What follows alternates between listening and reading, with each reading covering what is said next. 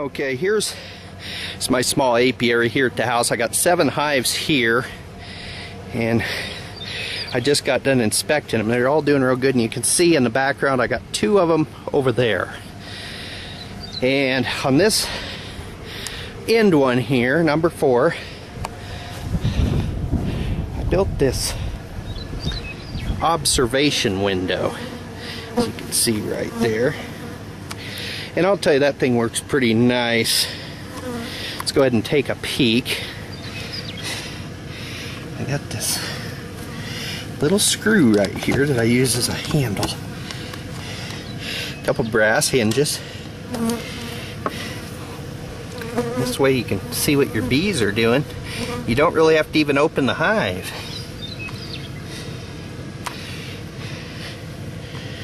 You can just see it all right through that observation window.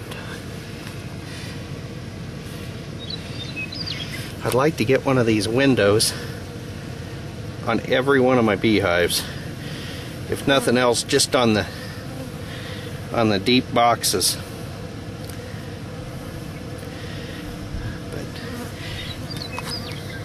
anyway I just thought I'd share that with you uh, coming up in the next video here I'm going to show you how to make one of these if anybody's interested in making one of these observation windows and they're so simple to make that it isn't even funny it just doesn't take much and it takes probably 30 minutes to make one but anyway and then you just put that old piece of board back on there like that shut it up and he'll be good for winter time so stay tuned and I'll show you how it's done. Thank you. Okay, for today's project, all we're going to be using here is just a plain old jigsaw, just a Black & Decker jigsaw. And then I've just got a cordless drill here and I've got a 3 8 drill bit into it. And the drill bit just has to be wide enough so that we can turn the saw blade inside the drill hole. And that's about all we need and then just a regular screwdriver okay now the first thing I need to do I got my pencil here and I've got just a piece of lumber here I'm going to be using it's two inches wide. Thickness doesn't matter. I'm just going to use it as a guide. What we're going to do is I'm just going to line that edge up. Bottom of the brood box. And we're just gonna draw a nice square there. Do the same over here. And we'll be right through just on the top side of where that handhold starts in. Do the same thing on this edge.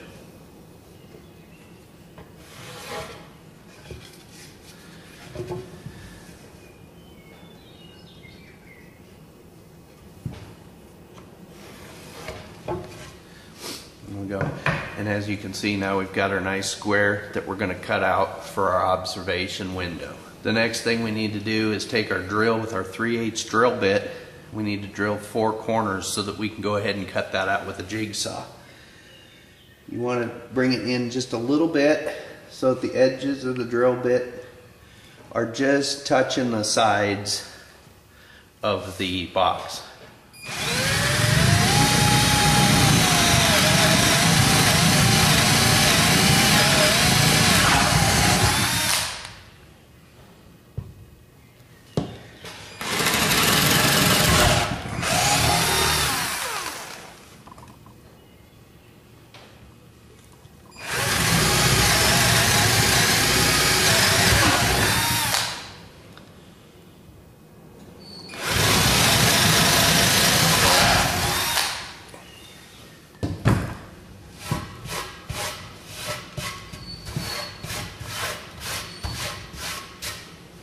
Okay, now that we got our holes drilled, and the reason we use the 3 8 bit is so as you can see, we can turn a 360 degree corner in this hole so we can manipulate the jigsaw through that drill hole.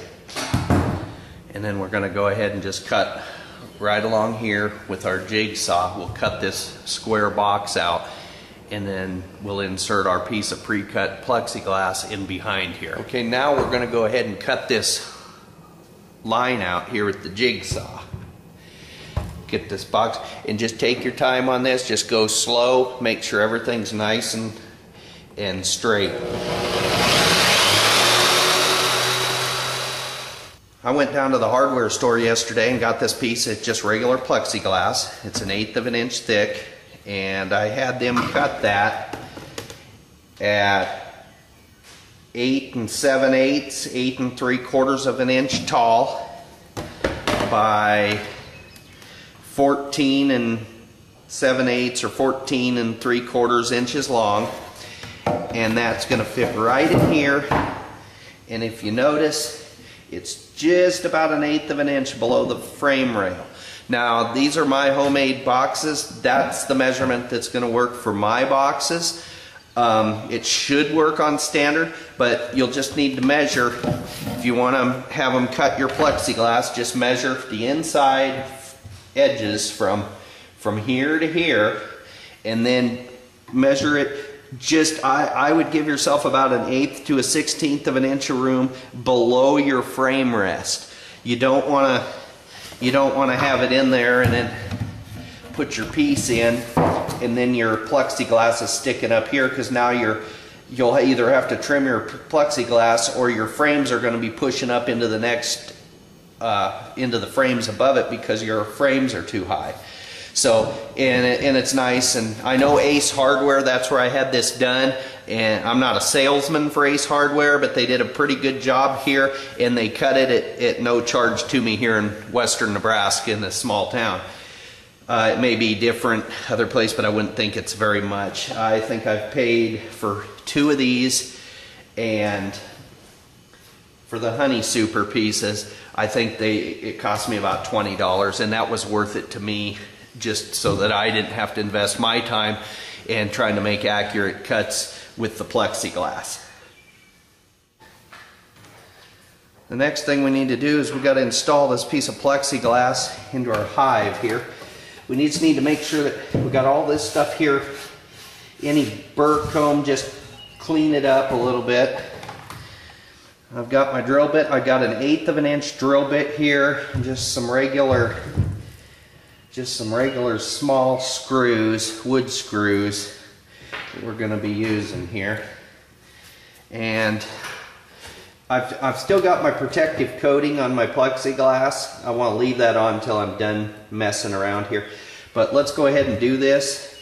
And what I'm going to do, we'll just hold it down, make sure it's just below your frame rest right here and you want to be flush with the edge back here in the back. Don't go over just so it's all inside the box. Well, let's go ahead and drill here. And be sure don't drill through your brood box. You just want to drill just through the plexiglass and into the woodwork. Take it nice and slow. We'll do the first two.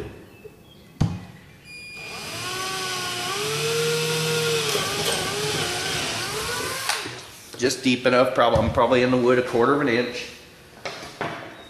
Okay, now I'm going to go ahead and insert these screws into my holes that I just drilled. Just to kind of make sure it stays in place.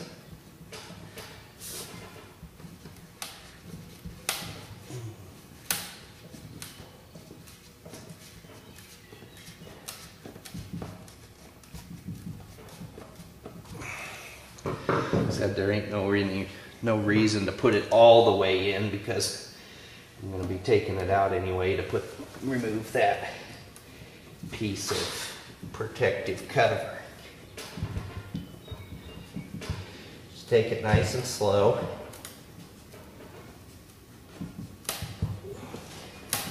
You may want to use maybe even a bigger drill bit or a smaller screw just so you don't crack the acrylic. Seems to be working really good. Okay. Now that we've got the plexiglass held in place, it's not going to go anywhere, go ahead and drill the other two in the back.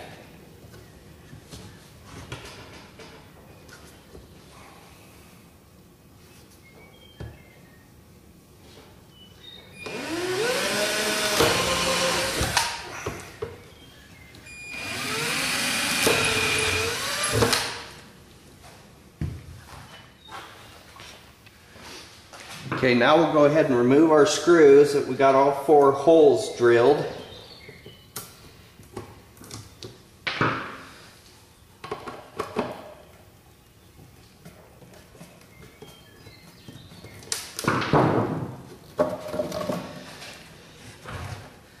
Slide that out of the way. Just kind of remember what side you drilled. We'll go ahead and remove this protective covering off of here. I guess I said both sides. It looks like it's only on one side. Okay, that's going to be our nice observation window for this beehive. Go ahead and brush the sawdust out of here. And just stick that right back on top of our holes. Okay, now we'll go ahead and put all four screws in the beehive to hold our window in.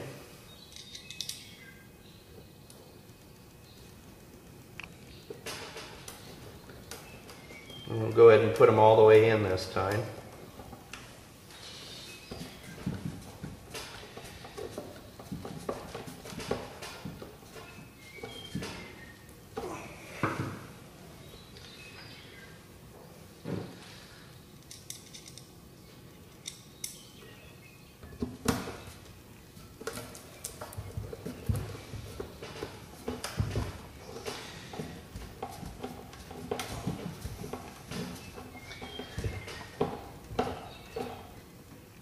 Don't go real, go tight, but not super tight because I'm scared if we do, you're going to crack that acrylic.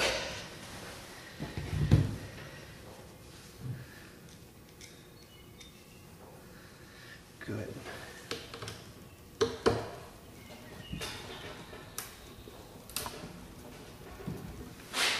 It can handle a little bit of stress, but boy, not very much.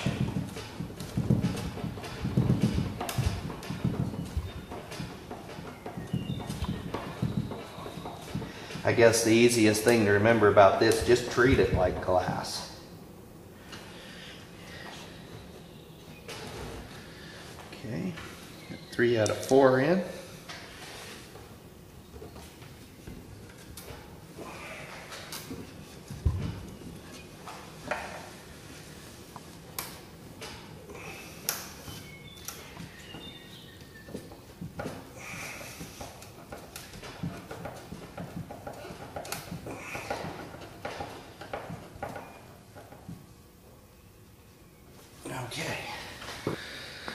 Okay, now we're at the point we got us a nice observation window, almost the width of the box, and we should be able to see with with the help of a flashlight, and we can look in the, into the beehive and not disturb the bees while doing so. And now we'll go ahead and remember this board we cut. We're going to put that right here. That's going to help insulate in the wintertime as well. And we'll go ahead and install that. I had my wife stop at the hardware store yesterday and we just got these two and a half inch they're brass hinges. And that's they're just a fixed pin hinge. They're just these brass hinges. Just like similar to what's on a door. And what we're gonna do is we're gonna just install, install those right here so that we can just flip that beehive up and take a peek what's going on inside and you don't even have to disturb the bees while doing it.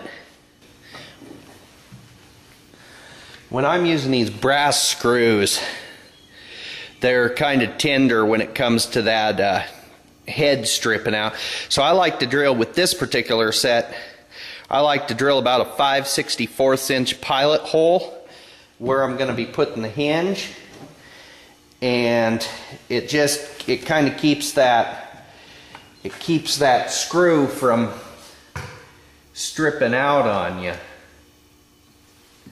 so we'll just go ahead and get our hinge all lined up drill my pilot holes.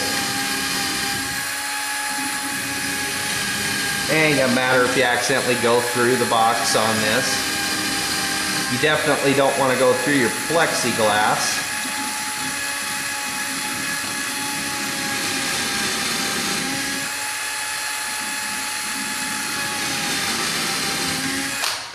just deep enough so you can get that screw about halfway in there.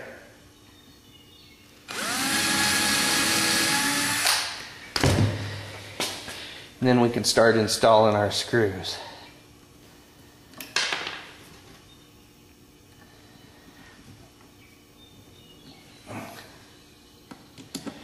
And then we can start installing our screws. Now we got these last screws we're putting in here.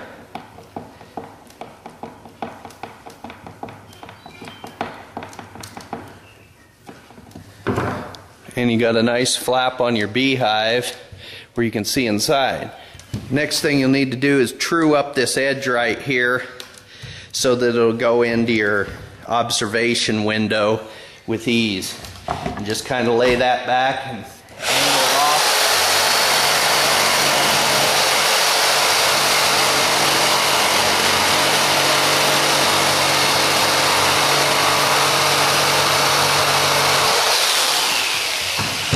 And you're just going to want to put a slight taper on that edge.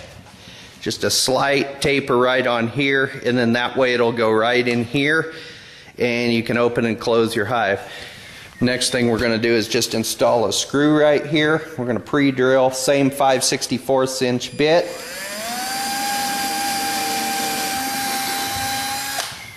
And we'll go ahead and put this screw in here so it's a little bit easier to lift up your flap. And now you have a nice little handle right here to grab onto to open your observation window.